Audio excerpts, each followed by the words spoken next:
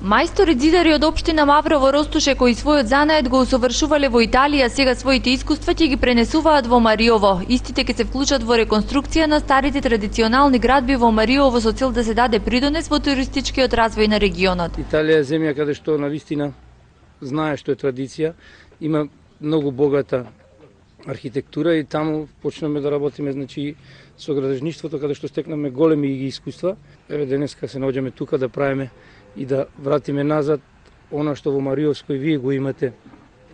Нажалост, тие напуштени села, ваше богатство, кои се некојаш сигурно живееле и имале голем капацитет на, на движење, денеска гледате дека се напуштени, куќите се останати празни. За таа цел денеска во општина Новаци во соработка со Центарот за институционален развој се организираше обука која е дел од програмата за соработка во областа на децентрализацијата помеѓу Македонија и Долна Нормандија во Франција. Мајстори од Маврово Ростуше и од Берово и наши граѓани кои учествуваат таму на реставрацијата.